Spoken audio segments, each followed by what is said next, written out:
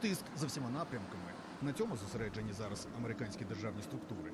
Держдеп готує спільний фронт для засідання Генеральної асамблеї ООН, яке заплановане на сьогодні, і де хочуть засудити проведення Росією так званих референдумів в чотирьох окупованих областях України.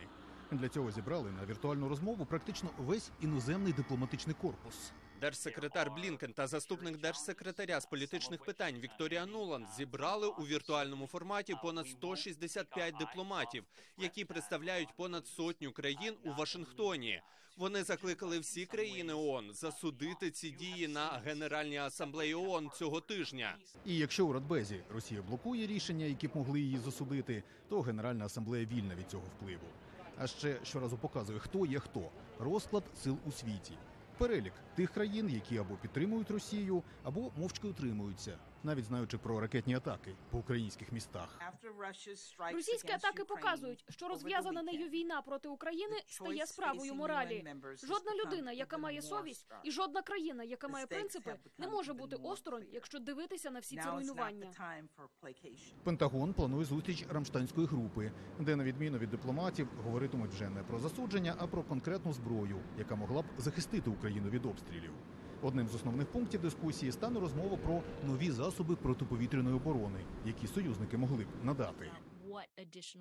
Яку додаткову допомогу можуть надати? Думаю, розмова буде сконцентрована на протиповітряній обороні. Детальна розмова. І звісно ж, всі позитивно сприйняли рішення із США і Німеччини стосовно надання додаткових систем ППО українцям. Але ми почуємо про більше. Це більше якраз про комплекси NASAMS, завдяки яким захищають від ракетних обстрілів і Білий Дім, і Конгрес, і вони на підході. Повідомив про це стратегічний координатор Радбезу США Джон Кірбі, сказавши, у найближчому майбутньому США передадуть Києву два таких комплекси, а всього їх буде вісім. Тривають також переговори щодо поставок додаткових засобів ППО, поки що не розголошують яких. Ще більш гучну заяву Кірбі зробив в ефірі ABC, відповідаючи ведучі, що запитала, чи можуть штати поставити Києву тактичні балістичні ракети.